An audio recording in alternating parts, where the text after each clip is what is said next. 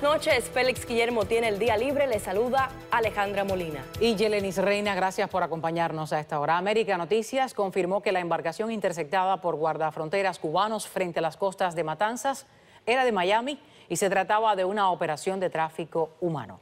Daniel Benítez trae el testimonio de una mujer que narra el momento en que la lancha fue embestida por los guardacostas cubanos. Daniel. Alejandra Yelenis, muy buenas noches. Diosbel Díaz es el nombre de este joven cubano que está desaparecido. Hoy vía telefónica desde Cuba, su esposa ofreció un desgarrador relato de cómo fueron embestidos por un guardacostas del régimen, a quien no le importó que en esta lancha fueran 32 personas, entre ellos dos niños. No, las personas empezaron a gritar que había niños, no hicieran nada, y ellos seguían, seguían arriba de la lancha. De... Cuando le dan el golpe a la lancha, que la viran, que la parten, es la última vez que veo el igualito.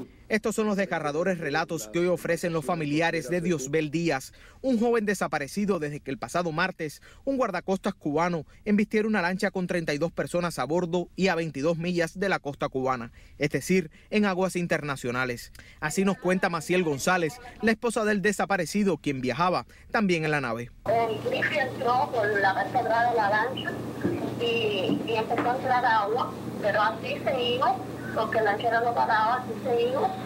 Y ellos seguían dando, tratando de derrumbar la lancha. Empezaron a dar golpes y el último fue el, el de final que viró la lancha.